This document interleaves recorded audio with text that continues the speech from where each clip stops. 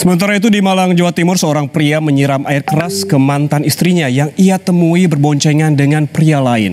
Akibatnya, korban mengalami luka bakar di tubuhnya. Polisi pun menangkap pelaku dalam waktu kurang dari 12 jam. Peristiwa penyiraman air keras ini dilakukan oleh Ari Wijayanto, warga Sidoarjo, Jawa Timur.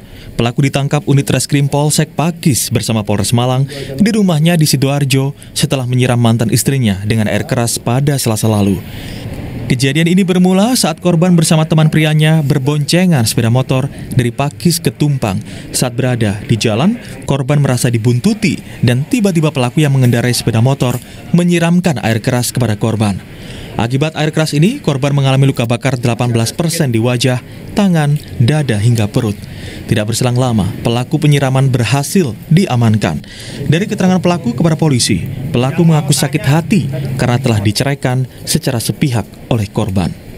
Di mana TKP-nya ini di Jalan Raya Bunut Wetan, Desa Bunut Wetan, terjadilah penyiraman air keras tersebut yang dilakukan oleh tersangka yang alhamdulillah berhasil kita amankan dalam kurun waktu kurang dari 12 jam uh, atas kerjasama unit reskrim Polsek Pakis uh, bersama-sama dengan Satreskrim Polres Malang. Kami kita amankan di Sidoarjo. Ternyata tersangka atas nama Ari Wijayanto ini masih memiliki hubungan yaitu mantan suami dengan korban. Motif perbuatan uh, sampai saat ini didalami uh, motifnya adalah motif sakit hati dendam atau sedikit asmara ada di situ juga.